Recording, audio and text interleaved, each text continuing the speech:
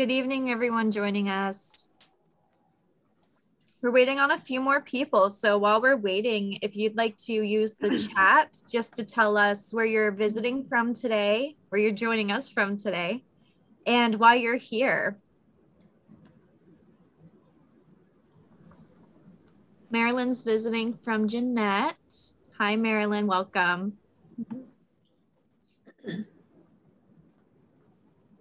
I keep saying visiting, but I guess it's more like zooming. They're visiting virtually. Right.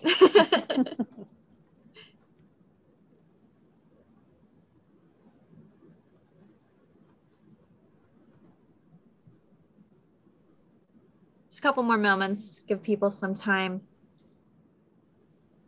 Jan Rogers, textile historian and quilt documenter in Western PA, currently sitting in South Carolina to avoid snow and ice. Good for you, Jan. awesome. Thank you so much for joining us. Maureen from Latrobe. Welcome, Maureen. Thank you.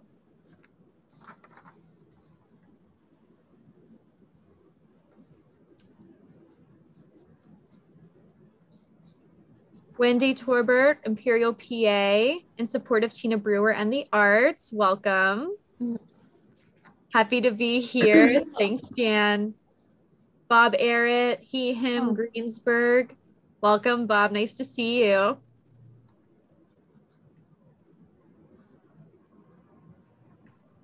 Anita Walker from Robinson. Welcome. Mm-hmm.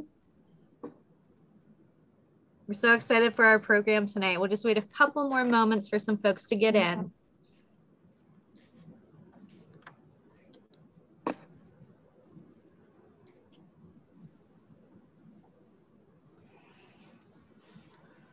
Lindsay Gates, Director of Touchstone Center for Crafts in Farmington. Awesome. Welcome, Lindsay. George and Jenny Leaner, if I'm saying that right. Much looking forward to what is sure to be a stimulating discussion. Thank you guys for joining us.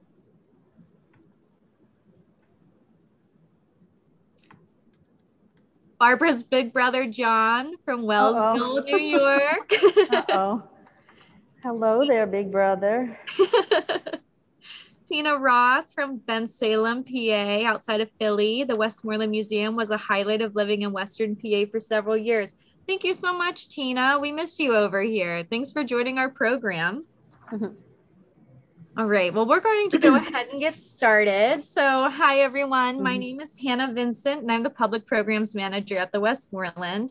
Thank you so much for joining us for tonight's program, which is, of course, Tina Williams Brewer and Barbara Jones in conversation.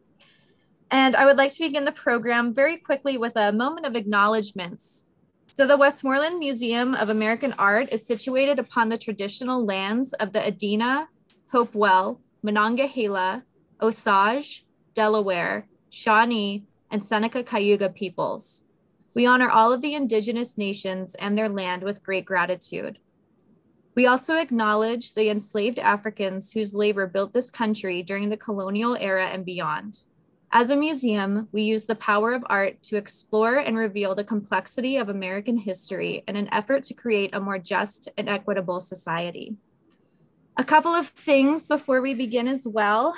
If you have any questions, any comments as well, please make sure you use the chat function. And I'll be checking in with Tina and Barbara as we go along if you have any questions. And feel free throughout the entire program to do that as well. But all right, thank you all so much for joining us. I'm going to turn it over now to our presenters, Tina Williams Brewer and Barbara Jones. All right, thanks, Hannah. Um, I am happy to be here and thanks everybody for joining. And thank you, Tina, for joining in this conversation. And thank you for your exhibition here in the museum. I'm sitting here in your gallery between two of your quilts. You can see them behind me. And I just want to say Tina Williams Brewer is a fiber arts storyteller and a teacher. Her exhibition here at the Westmoreland runs through April 24th. It's a mini re retrospective of quilts she made from 1984 through 2021. She's called this region her home most of her life, having grown up in West Virginia and has lived and worked in Pittsburgh for over 50 years. We're going to be, begin tonight's conversation with a short video clip from a studio tour that the Westmoreland's education and marketing teams produced during the pandemic to keep our audience engaged. So we will um, start there. Hi there. Welcome to the East End of Pittsburgh and Homewood Brushton. Welcome to my studio. I'm Tina Williams. We are a quilting artist. Come on in.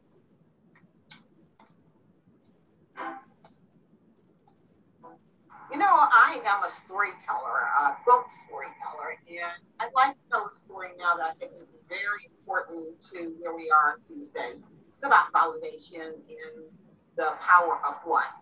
Um, when I first started quilting, I was very apprehensive. I didn't know how to do it. And so I worked with a group of ladies. And one particular lady saw me struggling. She came to me and she said, You know, you really don't have to do what everybody else is doing. What you're working on and how you're approaching the, the art form is so different, so unique. She says, I think you need to go with it. And her name was Adelia Moore. And so Adelia Moore encouraged me to, and gave me the power within to be able to create my artwork and not be uh, involved with other people's opinion of what I was I was doing. So my artwork has come from a place deep inside of me that really has to do with how I feel about my my culture. So that was the way that I started out with validation from one. And through my entire career, I have tried to be that person to everybody that I come in contact to get them to be able to kind of feel what they're doing and to honor their process. And then the art will come. I'd like to talk about this piece, which I created back in 1987.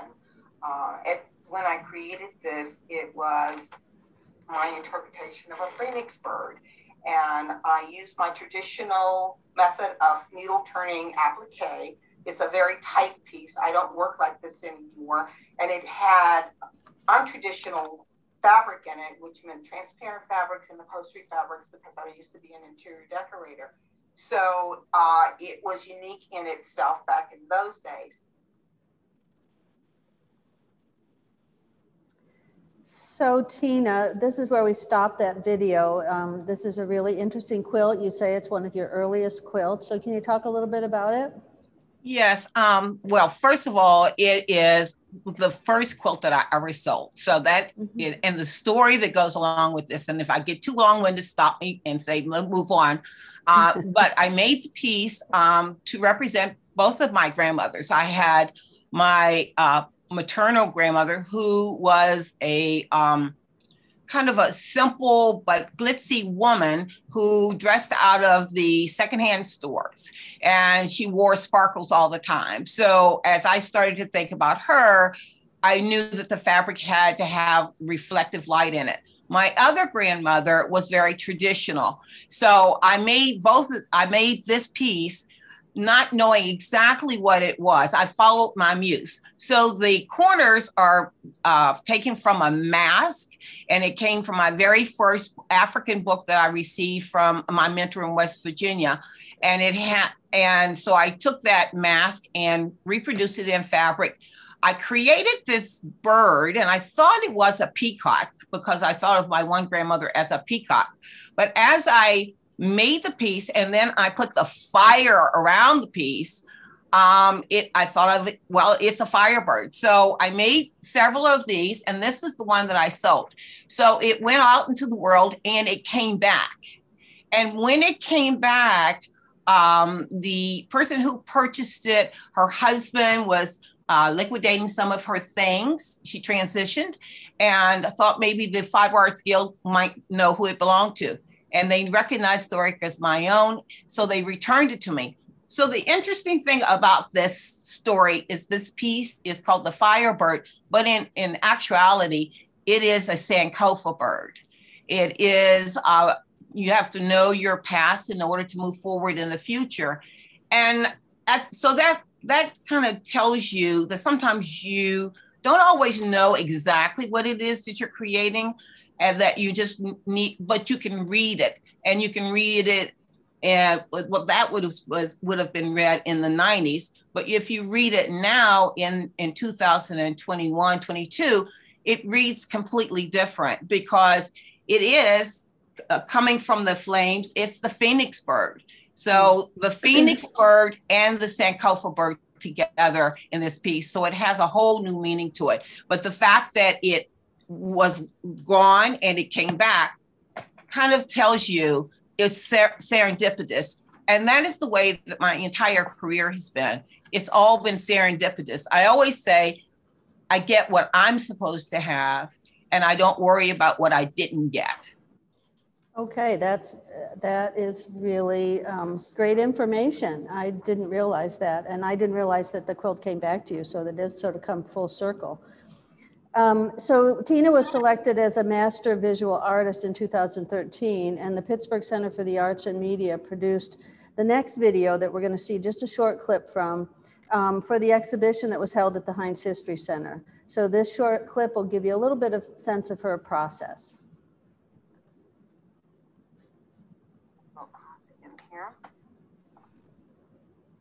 I use all of my books. I don't save them back for good.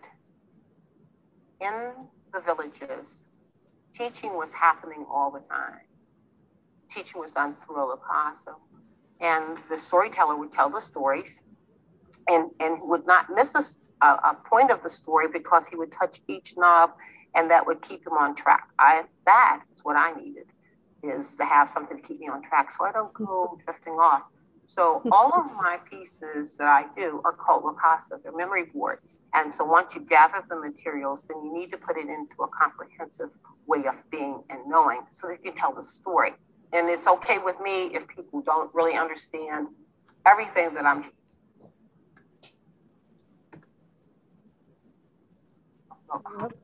gather the materials, then you need to put it into a comprehensive way of being and knowing so that you can tell the story. And it's okay with me if people don't really understand everything that I'm trying to talk about, because if they look at it enough, they'll tell their own story. I started out with a traditional quilt, and this is a traditional quilt top. Each block has a newspaper on the back of it. Instead of having a paper bag, people save their newspapers and they took the newspaper and they attached the fabric to the newspaper. So, so this is all hand sewed. Having words that are attached to a piece and you're laying under it's like that absorbing of that energy of the words. So it's a it's a wonderful concept. But also because of the poverty in which people live, everything was so important. So scraps, scraps, scraps. When I started quilting, it was scraps, scraps, scraps because I was an interior decorator so I was picking up behind all the curtains and the upholstery. I didn't know how to cook at all. I had a group of ladies that I visited with on Wednesday nights when my kids were really young. I asked questions, they told me, okay, gave me direction. But then it was about how I was going to put it together that became the nuance of it. I was trying to create a quilt that looked like everybody else's, but I kept going back to being able to have something that was more purposeful work. So telling a story about my culture became part of what it is that was my passion. So it drove it drove my work completely. So we stopped um, this this um, video and uh, Tina's website is actually going to be in the chat. So you can go to her website and you can see the full video and they're, they're really wonderful and, and give you a lot more information. But we stopped here because um, this quilt is her first published project. And there, all of these early quilts, she says, are teaching quilts.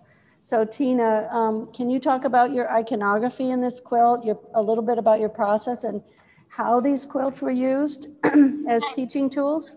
Okay. Well, so this that the first thing is I was teaching myself. These quilts came to me as a need to know. Um, I received a, a, gift from a friend, uh, a magazine with that was called uh, American Vision, and it had a lithograph of the bottom of the slave ship, which I had never seen. And I was probably close to 40 by then, and I was pretty drawn to it. And so I became impassioned about understanding how this how this happened and I never really saw the the beginnings. I the, well not the beginnings the suffering that is connected with a with the uh, the slave trade. And so this is the bottom of a slave ship and my my friends um, gave me the lithograph and i just started to do the research. So i used traditional concept of uh, strip piecing. So the background is uh, formed first. There are like four different pieces of fabric put together to create the rectangle. Then the pieces are all done applique which means that i needle turned each piece the, they're all uniform because I used a giant eagle paper bag to make the patterns. And then I covered the patterns and then each one went down. I designed it as I went.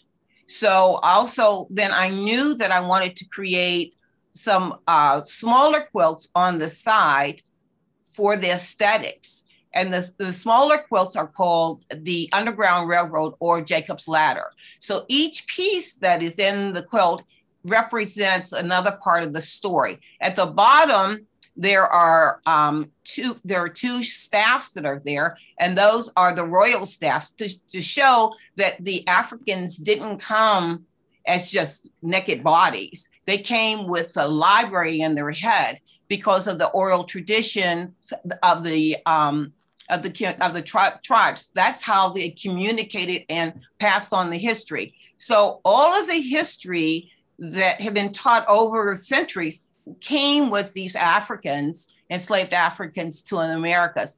And my whole thing was to actually elevate this process and pull it out of the misery, but give some humanity to it. And so the top is the uh, harvest birds. And so somebody asked me, well, how does harvest have anything to do with the slave trade? Because literally, these human beings were harvested from the motherland and brought to this country. And so there was always a celebration at at the at, at the harvest time. So I wanted to elevate it and create that. So I have sequins and beads that also make it seem to be like something maybe you might want to look at. The uh, the pattern that's in the center of the quote is called the slave chain and it's made from um, my father-in-law's ties, who was the first African American administrator at Pittsburgh Public School, and my mentor, and who got me involved with understanding African uh, sculpture. So it, it, has a personal meaning for me, and I, you know, I have not shown it for a, a while publicly, uh, but it, it goes to the schools. And so the children that I have been involved with all of these years have been able to express themselves, understand what this process is about, and to kind of um, talk about it amongst themselves. And I, so we can be comfortable with the idea that this needs to be talked about because it's part of our American history. There are four pieces in this in this series, and one piece also belongs to the um, the uh, State Museum in the permanent collection, and the other two belong to the African American Museum in Dallas, Texas. Great. That's okay. We'll move on, uh, Hannah, to the next slide. Okay. So we're moving very quickly through yeah. this, through the, um, there are many, many quilts in between the harvest and uh, Humble Beginnings. Humble Beginnings was a piece that I did in 2006 when I had a grant. Uh, a, well, it was a residency in at the Clay Center in Charleston, West Virginia. And so they gave me a studio to work. So that's why I decided to do a very, very large piece. And um, at that time, my husband was working with the Pittsburgh Courier Archives. So I had access to all of these magnificent photographs. Now, um, so it was like humble beginnings, but we called it baseball and blues a bit too, because it's all about the athleticism and about the arts and the music and the dance. And it's very circular and holistic uh, when you think about it, the symbols that are at the bottom in turquoise is for um, it. I have a I have a corpus of symbols that I got from the Smithsonian Institution that I have intertwined throughout most of these quotes. There are a lot of reoccurring um, patterns that I use over and over again, but that means wealth. And so it really refers to how these musicians and artists, how they struggled to be able to have their process and how to be able to sing in clubs where they weren't allowed to go in the front door, where they went to where they played uh, baseball and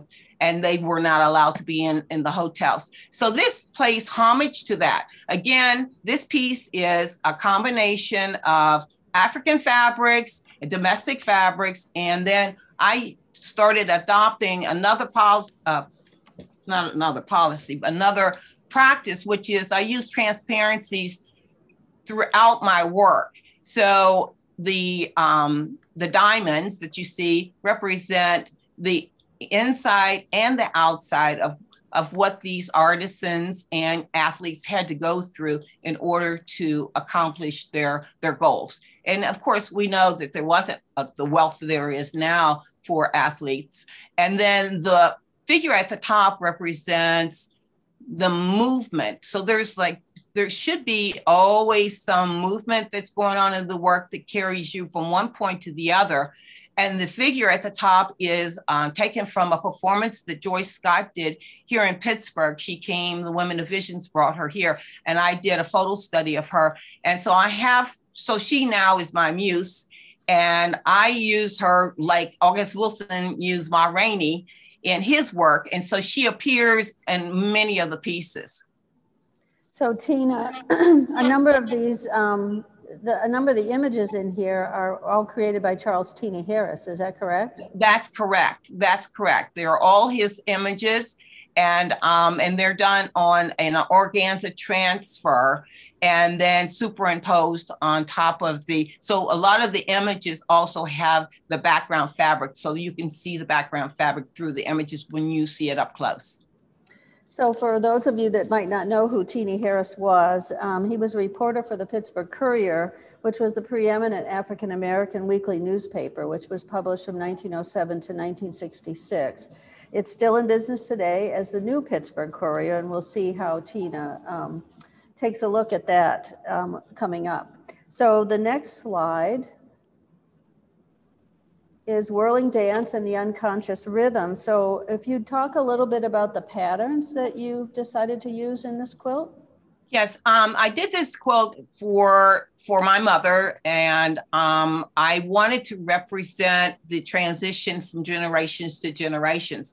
Um, the background fabric uh, was the dark blue, and I discharged the the color from the fabric, and I uh, superimposed a uh, and uh, Adinkra symbol. One is for peace, and one is for the drum. So it's it's peaceful, but there also is a call. I included t- traditional patterns in this piece, which is the the the whirling piece again we want to see the motion that is happening with the work and at this time i was still trying to use traditional patterns because i still wanted people to think i was a real quilter that i'm almost not really a real quilter and um but because i was doing so uh, more crazy quilts than piecework. Piecework is when you put fabric together and turn it inside out, and all the raw edges are inside. I prefer to use my images uh, over and over again, and I cut them straight out, and then I stitch them on with a herringbone stitch to adhere them to the background. So there is multiple layers that, that are there. There are about four layers. And then on top of it is a stitched layer, which is a spider web.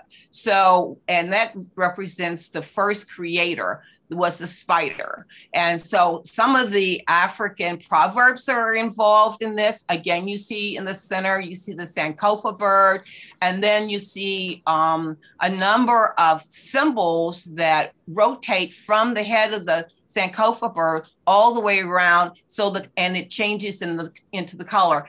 Uh, it goes from red to orange to yellow and um, they're symbols that mean fertility. They they're referencing, you know, women's attributes of strength and tenacity. So, um, and I usually I have a key on the back of most of these quilts because I realized I wasn't going to remember them always, and so sometimes I have to flip them on the back and uh, refresh my memory. That's great. I know I do that too. Well, you talk about multiple layers. So the next quilt, New Pittsburgh Courier, which we already mentioned briefly, is, is an abundance of layers. And it's filled again with um, photographs from the Pittsburgh Courier of um, local and national personalities who all contributed to the visual and performing arts. So um, tell us a little bit about this and um, how you were able to achieve this design. Okay, so the, the, the I did 10 quilts um, before the uh, Pittsburgh Courier's um, 100th anniversary. And, um, and each one took on a, uh, a different concept. And this one was for destiny. And so it uh, all the creative uh, muses. So I started with uh, Billy Strayhorn and Mary Dee up at the top. Billy Strayhorn was like uh, uh, well, Billy Strayhorn was a Homewood, you know, he grew up in Homewood. So I was particularly interested in him. I did something for his family um, for well, celebration that they had a national conference here for Billy Strayhorn. And of course, if you don't you know who Billy Strayhorn, he is Take the A Train. But I learned from doing that particular quilt project, that commission work, that I work to music. And so I played, you know, all of Billy Strayhorn's music. I wasn't as familiar with Mary Dee, but she worked, I think, for for Wham-O, and she was um, mm-hmm. a DJ. And so there's a picture of her there. There's a British conductor named Rudolph uh, Dunbar, who is at the top. You never think about African Americans being in classical music. So that was something that I thought was really important to be there. Ahmad Jamal, Jamal is on there. He is a uh, Westinghouse graduate. So I tried to I tried to mix people that were famous that but came from Homewood because I'm not from Homewood. I grew up in West Virginia, but I always felt that there was something very very special about Homewood and what Homewood had to offer. It's almost like it's the magic land, and there is so much talent that came out of Homewood that. Um, I think that that was one of the biggest things that I did with these quilts when I taught, I took them into the school and taught the children about it. I connected them first with things that they knew and then drew them back in history. Do you, do you know that this person came from here and this is what they did? So all of these are again Lukasas, which means that they are memory boards and, and the children can go through each photograph and ask about the person and um, we have a myriad of very, very talented people that came from Pitts, came from Homewood in particular. John Wideman, a writer who also knew my husband, and I got a chance to meet him as well. Teenie Harris was here, lived uh, down the street and around the corner. Mm-hmm. Um, what, what um, Marian Anderson is in there. Catherine Dunn was um, her auntie used to live across the street. So there's just so many connections if you have the time or someone has the time to be able to go back and pull that information up.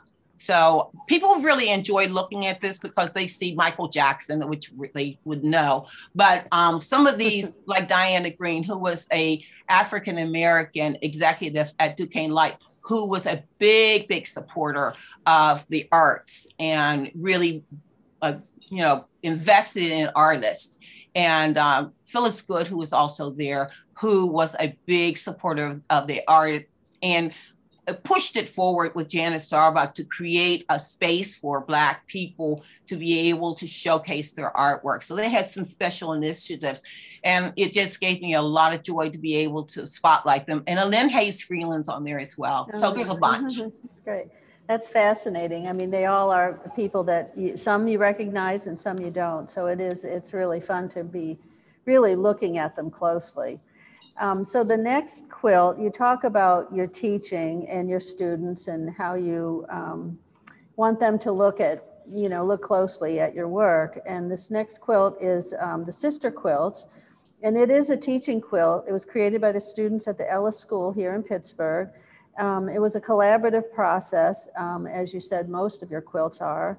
But I understand you collaborated with another Pittsburgh master quilter, Jan Myers Newbury, who contributed the shibori dyeing technique that frames each quilt. So can you talk about um, how this um, teaching quilt came about and maybe a little bit about that process if people don't know about the shibori dyeing? Uh, about the shibori. Okay. Mm-hmm. Well, Jan Myers Newbury is a, um, a master uh, shibori artist and she does most fabulous quilts and she usually does geometric work uh, and she's very scientific in her work so jan came over and the girls kind of told her the colors she pulled out, you know, her samples so they could see it. And then she took, they chose this one, which was periwinkle. She went back and, and the process is that she uses like a, a particular muslin, um, but she also uses silk too, but usually it's, this is muslin.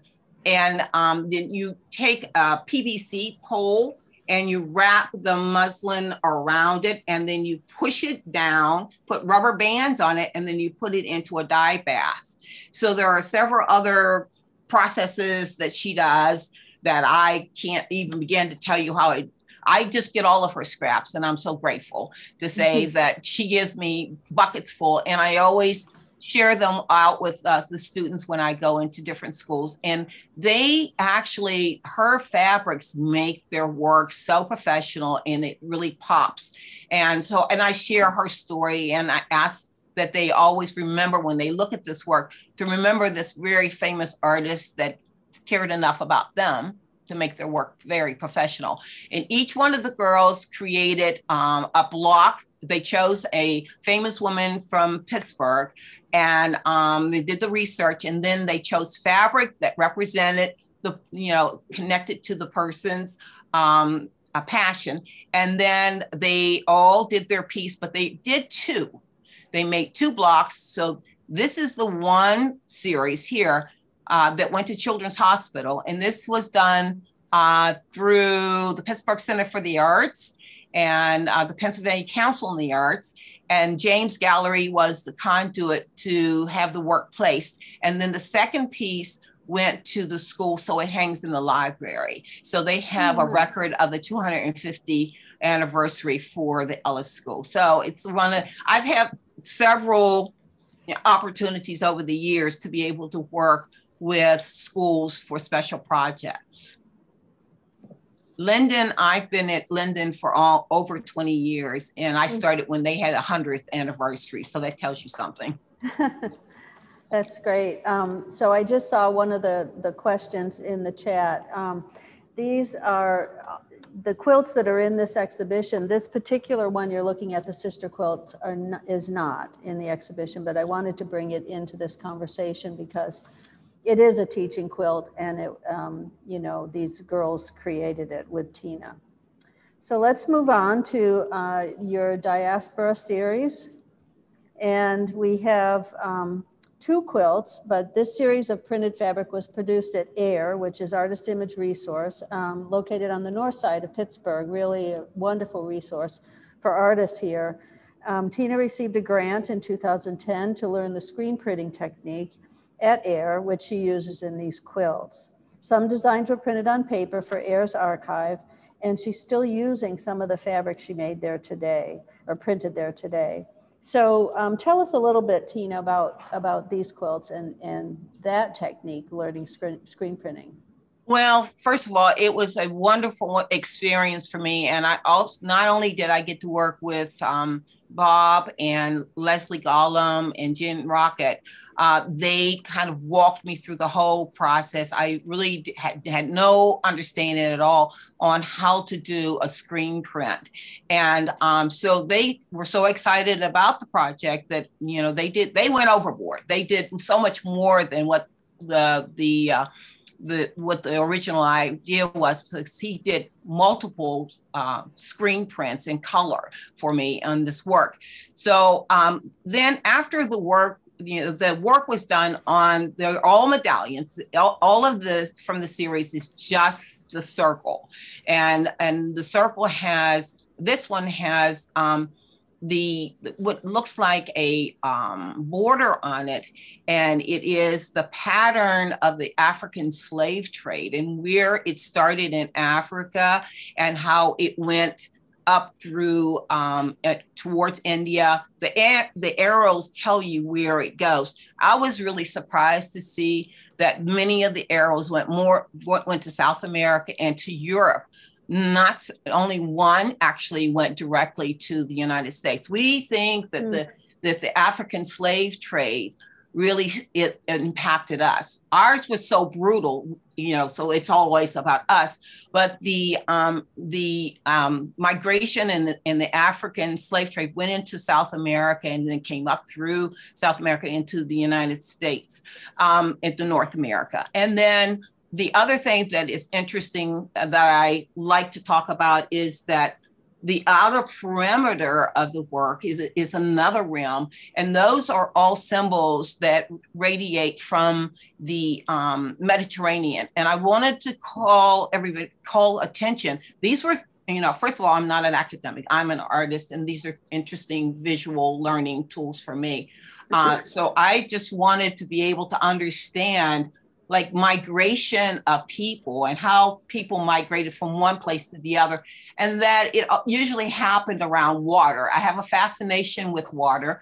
So um, the symbols that go around the outside are symbols that are around the mediterranean. So that means that some of them are african and it goes around into europe and then spain and portugal. So all of these all of these symbols are to say we all really do rotate around the same sun. It, it is the it is the that it is hard to really pull it apart, and we're always trying to pull apart, but we're really pretty much all connected in the same way. And so then the crossbar in this is a um, image of the Nile River, which I, you know, I said, let's talk about the Nile River because it flows from the south to the north and into the Mediterranean. So most, the, a lot of the migration happened along this major river and went into into um, the Mediterranean. And so, um, and, and then the fact that it flows from the south to the north was really interesting. And when I talk about that with the younger people, I also talk about how the Ohio River also that that starts in Pittsburgh at our point goes north before it turns and goes south. So we do, you know, it's like a combination of symbols and art design and geography and how things make you feel and what what do you think about. So all of these pieces are in. I travel with them to the schools, and um, then the children explore and they write about them. So it's um it's a really interesting thing to hear younger people. Some I usually work middle school and elementary. Uh, but I have done high school students as well who really get involved with it. The, the same pattern that is on the left is the same pattern multiplied through um, on, on the right hand side. And the way the reason I wanted to do that was really to explore or to say this process that I've been going through, and I started this in 2010, is like peeling back an onion it's so vast and there's mm-hmm. so much information. And for me, I really need to work with like an archive, an, an archaeological person and, and a historian to help to kind of like pull out these stories. But it is so overlapped and it's so much minutia that's there. Um, but the blues of the, and that's some of uh, Jan Myers' blue shibori in the middle that just radiates there. It really gives you the crossbar so that you can concentrate on that first and then you dig deeper. So how are we doing with time, Barbara? We're doing all right. I want to move on to the next one, but I have to say I'm sitting here looking at this quilt, um, the struggle friction uh, quilt right across from me. So um, just for the, the audience, um, this Westmoreland Diversity Coalition billboard quilt um, is also not in the exhibition, but I hope you were able to see it when we had that exhibition here um, last year. But um, this project, um, it was um, started in March 19, I mean 2020, and it was the Westmoreland Diversity Coalition, in partnership with this museum, put out a call to artists to participate in a public art campaign by responding to the me message, Make Our Differences Our Strength. Using a billboard as their canvas, the artists were tasked to convey how diversity and inclusion make communities in Westmoreland County stronger. So over 50 artists responded to the call and 10 artists were selected by an advisory team. The project was funded by a generous grant from the Heinz Endowment's Just Arts program. And this is the quilt that Tina designed um, uh, for this uh, project. And so if you could just talk a little bit about how you chose um, the theme here. Okay, so again, one of the things that I love to do is to show mixed cultures all in one spot. So each block has a multiple cultures that are represented either by imagery or a pattern, design, and um, and and then it's superimposed on the background. The fabrics are also um, you try it tries to move you from one point to the other. So if you were to look at this piece, it looks like um, a work that I did uh, called. Um, um oh, it's not going to come right now, but mm-hmm. I, I, I, yeah, like it was supposed to be a totem, but it, it was an arc. So the arc was telling you the arc of justice, yoke of love, was which is the arc of justice was a, a theme of Martin Luther King. Um, when I first did it, my team they weren't familiar with, and they said nobody's going to know what that is. But it was interesting after the billboard went up, there was a lot of reference to the arc of justice as it bends slowly, and then yoke of love because my whole thought is anytime that you work towards justice, you have to really have love in your heart for it because it's hard work. And the people that are, are involved in this, they really want justice. They, I mean, anytime that you see a wrong and you want to put, make it right, you have to love it. So that's, and so having these different cultures, and then, like I said, there's, um, you know, we tried to get as many cultures as possible because it was diversity. So some of the uh, the, the patterns are Pennsylvania Dutch, the Tree of Life. Um, then there was the um, the the uh, brocades, fabrics. So it was a combination. You couldn't really see that on the billboard, so that was the that was the i guess the challenge but the, the graphic had to be there. But when you were able to see the piece itself up close you could see all of the details that were there. But the main thing that i wanted to emphasize again is that the blocks were connected with mud cloth. So again referencing the cradle of civilization and and how it kind of connects and things uh, kind of radiate from from there. And I like to use a lot of circles because it makes it move. Uh-huh. Well, you can see with the insert, that's the actual billboard. Um, the billboards were um, about 40 feet wide, some of them lo- longer. And the quilt itself was 10 feet, um, 10 feet long. So it was an incredible piece. And this, this exhibition actually traveled around to three venues in, in Westmoreland County. So I hope some of you had an opportunity to see it.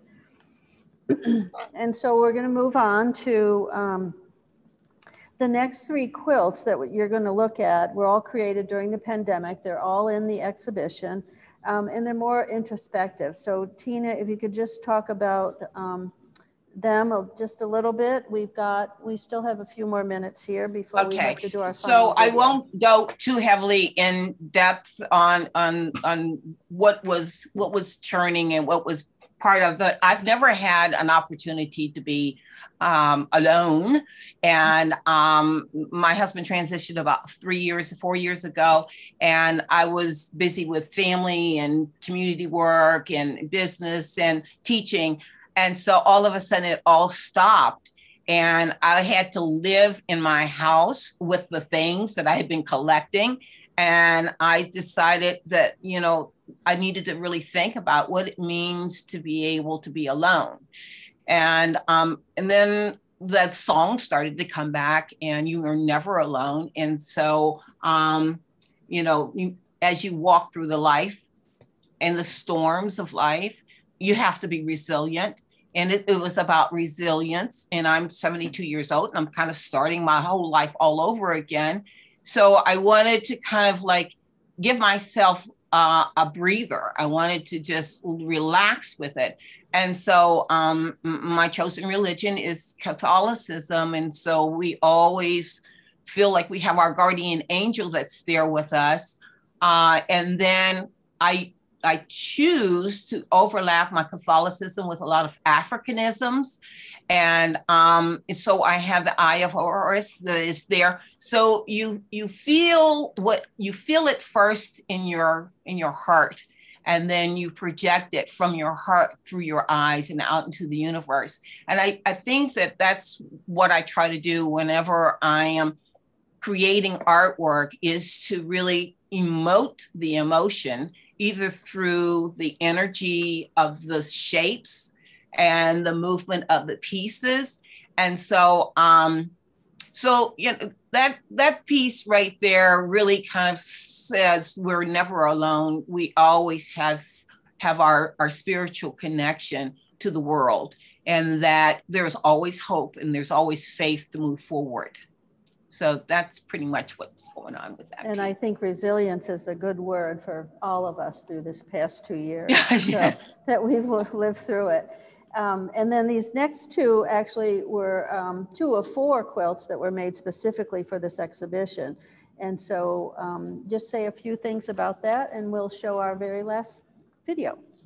Okay, and so you know, the, the, first of all, I have to give a cheer out to um, Leslie Golomb and Matt, who uh, at Pullproof, who helped to create all of the fabric that's in these pieces. Uh, I am a scrap quilter, so maybe I didn't say that prior to. Mm-hmm. I'm a scrap quilter, so I used all the fabric that I had from when I was an interior decorator. So um, the, these pieces are created out of brand new fabric that was screen printed and digitally uh, printed uh, in New York for me to use. And so, um, and the genesis of, of this again goes back to the whole thing about water.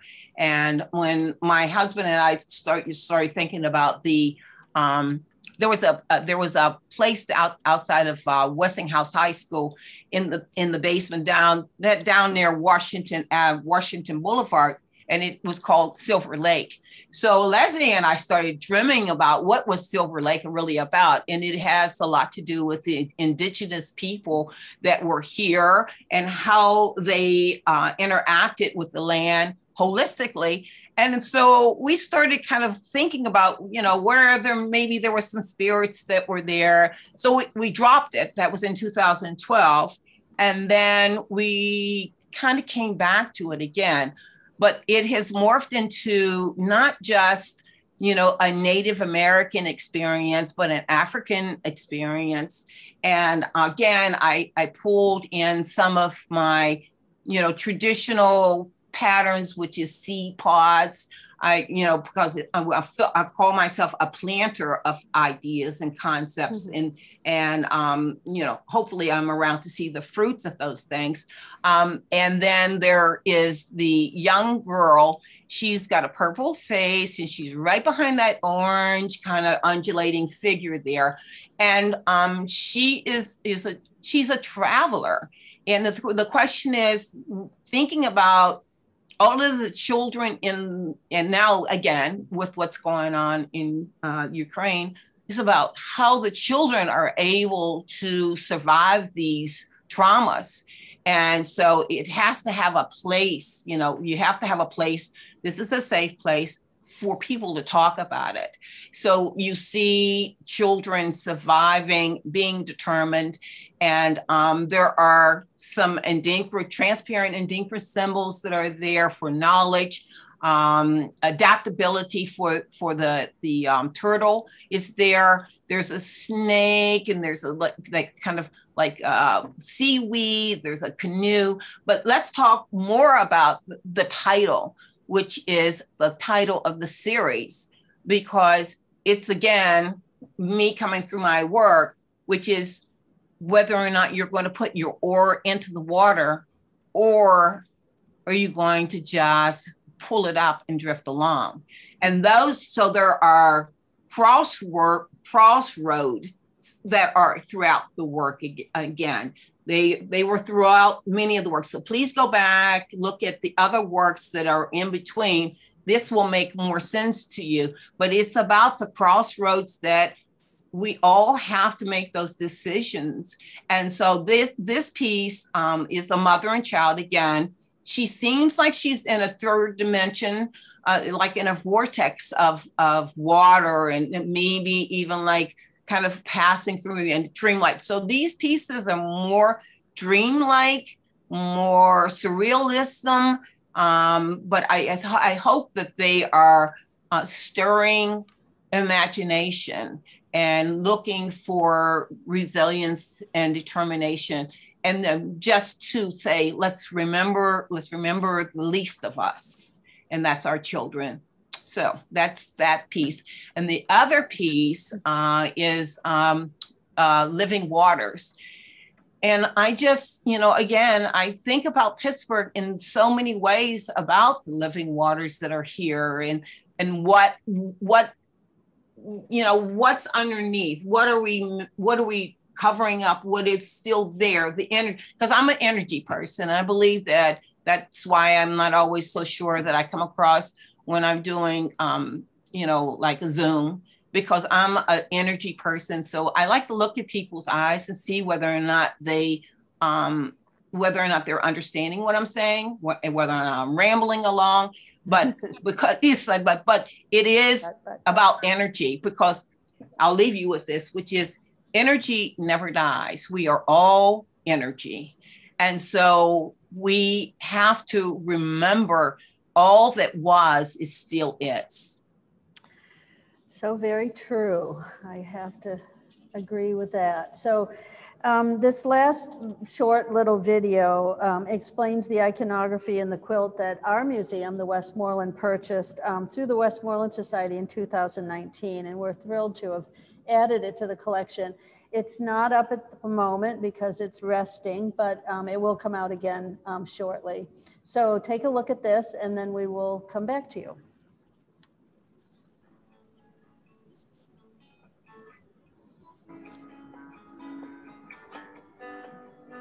This is a story quilt that I created called Divine Plan.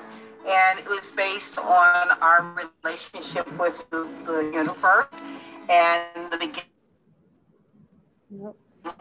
And so it has a rotation of clockwise it starts with the Trinity um, up here at the top. And if you follow the blackbirds, they come down and they go down and around. And once they go into the bottom, they go into the darkness, then they come back up again and into the top of the quilt. Now, this quilt encompasses several different techniques. It's all hand done and all hand beaded.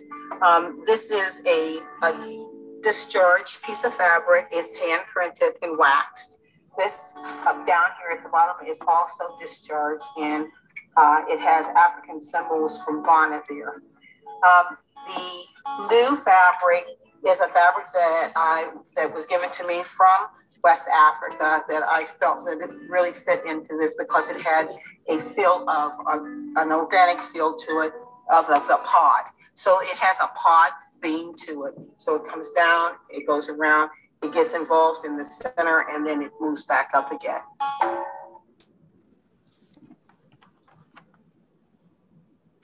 And there's the quilt, and it is um, 52 by 38 inches, and it, it is really impressive. So I hope once we get it back out again, you'll come out and take a look at it.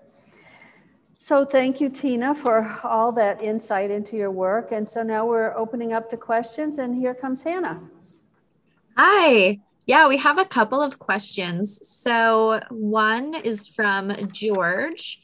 He says, The work is powerful and speaks with confidence and authority. What drew you to working in this medium? Where do you think this work will take you next? And then where further? Okay, so um, I it, it I fell into it basically because um, I was at home raising family. I uh, was a potter and a weaver and a photographer. and I wasn't able to, I had a lot of restraints with those items, but I found that I could use my, the scraps that I had kind of brought out of the Joseph Horne Company every evening. And I had bags of it in the basement. So I just started to work with it and I enjoyed, I enjoyed the communal activity once a week with other adults, first of all. The women were so giving and shared so much uh, and helped me along the way. It's just that I did not fit into that mold. And again, as I said before, that the encouragement came from one person to just say, have a good time, have fun, and enjoy yourself. And so I created this collage technique just organically from my training, you know, with color. Um, you know, Dean Kanzani was um, a stickler for color movement and and traveling reflective imagery. And so that I just used my training from college to create these pieces. But again, you, you just need to have the confidence and the belief in what you're doing. And, and I believed I was saving myself. This was the only control that I had. Everything else in my world was out of control. But this particular thing, I could control myself. And then when people started to kind of like react to the stories, then I had to up my game and you know study a little bit harder. And it was back in the day when you had to go to the library. Now you can just Google everything and sit in your living room and do all your research. True. Did that answer the question? I think so. Yeah. Uh, another question from Bonnie is How do you know when a piece is finished? It's never finished. It, it, it's a, I, I had, I do stop because, uh, but I can work back into any of these pieces if, like, if there is a change in the atmosphere, is there is some some additional information that, that is coming through maybe a decade later i can work back into it if i still have the work. Uh, so and because uh, they are pieces that are being reinterpreted and they're layered in such a way that sometimes people bring something new to it. So i can because it's very forgiving that's the that's the thing. It's forgiving. We have another question from leslie. Can you speak to your recent recognition in new york city arts fairs etc Oh well, last year was uh, a pretty pretty spectacular year. Um, uh, David De Buck Gallery uh, took me on and a couple of years ago, and so I had an opportunity to uh, thread it. I think it's a threaded memories, and it um, was really very well received. It went to Christie's Gallery for the 154. Um, uh, art fair, and all of that was very new to me. I didn't even know what it was really about. It was just I was going along with the wave. Um, but it was pretty interesting to, and a divine, a very divine gift that I was out the gate and that I was chosen to uh, be spotlighted by um, by the, the art fair and asked to do um, like a talk. And then also last year was um, I was my work was presented at the Chicago Fair as well. And again, it was like it was I didn't know, but it was you know it was spotlighted, and so the work is interesting. Maybe it's the time, it's the space, and whatever. I'm not real sure, but it, it really gave me you know like that push to to really to explore the work a lot further so I have some very good partners and I have a really great team of people who help me because I, no man is an island. I can't do it by myself. And when you get into the zone and you're working, you know, it's really difficult to do all the paperwork that goes along with it. Yeah, we have to give a shout out to Team Tina because they were heavily involved in, in this exhibition. And um, and rightly so, Tina was recognized at the Chicago Expo and um, others, and the gallery is, is really representing her well. Um, prior to her work going to the gallery, she kept most of it pretty close to home and um, exhibited, but did not really sell. So now I think her work is getting out to the public. So it's, it's really a wonderful thing. Awesome. Thank you guys. Just one last question for you, Tina. This is again from George. Where do you see your work going? Oh, I don't know. I think with with the with the silk screen and the upgrade in the in the fabric, I I think it's going to be more dreamlike, more cosmic, and um more in. It's always been emotional, and um and so from from the very beginning when I started out with Carolyn Mazloomi back in the early '90s, uh, showing with with some of her traveling shows she just, I just couldn't keep up with with all the other things that I was doing. But she really, really kind of catapulted me out into the world. So I've been local, but the work has traveled nicely through her contacts and with that group of women. Um, and so I'm not real sure. I, you know what, like I said, whatever it is for me will come. I just need to do the work and I need to tell the truth and I need to be honest and I think as long as I'm doing those things, that the bounty will come. That's my formula. That's such a great answer. Thank it you is. so much, Tina. Um, a lot of our viewers are really resonating with your works. People find them very inspiring, especially the quilts that you've made during the pandemic. So thank you for sharing all of this with us. And thank you to the viewers for asking questions and being so attentive to our program tonight. Thank you so much. Um, anything to add, Tina or Barbara? Well, I'd like to say thank you very, very much to the Westmoreland Museum for picking up this show and, and getting it off the ground. It's been a thrill working with the staff. Everyone is so helpful and so encouraging, and it's been a wonderful experience. And um, I just want to say I want to be a cheerleader for the Westmoreland. Aww. We well, appreciate I, that. Thank you. We do. And I just want to thank you, Tina, for, for all your hard work and, and for making this exhibition possible because our visitors are really enjoying it. So thank you. You're welcome. Yeah, My thank pleasure. you everyone very much. Before we end, I just want to thank you again for joining us. This was phenomenal. Um, be sure to check out our upcoming programs and events on our website and social media channels.